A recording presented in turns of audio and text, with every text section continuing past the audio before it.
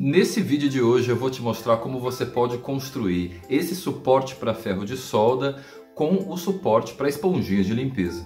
Primeiro você vai precisar de um suporte de madeira, também de um arame que pode ser enrolado em um cano de PVC ou também um cabo de vassoura. Você também vai precisar de dois parafusos pequenos para poder fixar o arame no suporte de madeira.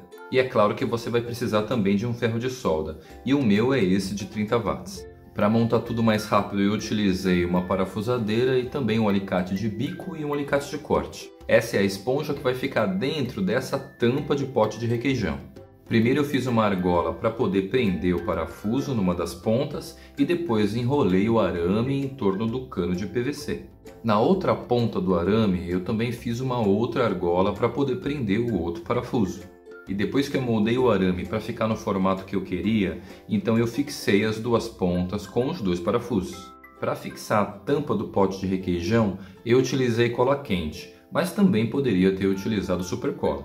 E para que a esponja de limpeza não venha ficar queimada, então é importante dar uma leve umidificada nela. Para que esse suporte ficasse mais firme na mesa, eu cortei alguns pedaços de fita de EVA adesiva e coloquei embaixo do suporte para que ele não fique escorregando muito. E aqui você pode ver o resultado de como ficou o nosso suporte para ferro de solda com o suporte da esponja de limpeza.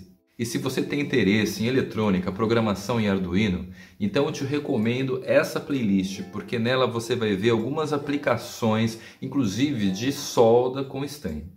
E se você quiser dar uma força para esse canal, não esqueça de fazer a sua inscrição e ativar o sininho para receber as notificações dos próximos vídeos. Falou!